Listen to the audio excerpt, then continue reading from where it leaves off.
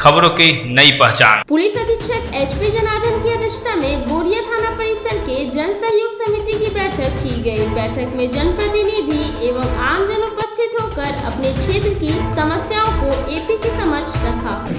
आज बोरिया थाना में प्रधान लोगों के मुखिया लोग के और का बुज़ुर्ग लोगों के साथ जन सहयोग समिति का बैठक किया गया।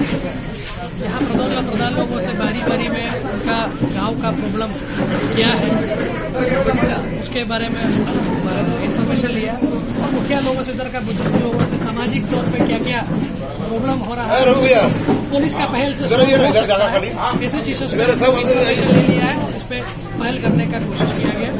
उसके साथ साथ पुलिस के काम क्या क्या सुधार आना चाहिए, इसमें भी पब्लिक से पूछा गया है। और साहिबगंज पुलिस का यही कोशिश होगा कि हम पब्लिक और पुलिस के बीच में एक मधुर संबंध बनाते हुए पब्लिक का सहयोग से हम लोग पुलिसिंग करेंगे और पूरा बोरिया थाना अंतर्गत क्राइम पे काम